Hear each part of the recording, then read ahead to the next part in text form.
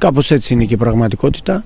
Ε, νομίζω ότι το παιχνίδι όλο ήταν στο πρώτο ημίχρονο που χάσαμε, σπαταλήσαμε αρκετές ευκαιρίες, ε, δεν εκμεταλλευτήκαμε την ταχύτητα που είχαμε ούτε είχαμε σωστά τελειώματα με αποτέλεσμα να δώσουμε στη δυνατότητα στην ομάδα του Μεσολογίου ε, να πιστέψει ότι μπορεί να πάρει το αποτέλεσμα ε, πολύ καλά στημένη η ομάδα του Μεσολογίου με αμυντικούς προσανατολισμούς ε, και με ε, μεγάλη ποιότητα στο κέντρο και μπροστά οι δύο παίκτριες ε, που η κοπέλα από τη Βραζιλία και η, η άλλη κοπέλα που έπαιζε 10 μας δημιουργήσανε και το πρόβλημα σε μια-δυο αντιπιθέσεις γιατί εμείς παίζαμε πολύ ψηλά δεν μπορέσαμε να κάνουμε γκολ και το παιχνίδι τελείωσε 0-0 μοιραία για μας. Η στόχη της ομάδας; Η στόχη της ομάδας είναι ο πρωταθλισμός, δεν είναι κάτι άλλο, να ανέβει κατηγορία αλλά είναι εμφανές κάτι που το ξέρουμε ότι γιατί και στο παιχνίδι με τα Ζαρουχλέικα αλλά και στα φιλικά που έχουμε παίξει μέχρι τώρα, ενώ δημιουργούμε πάρα, πάρα πολλές ευκαιρίες, δυσκολευόμαστε στο να τις εκμεταλλευτούμε. Είναι πολύ,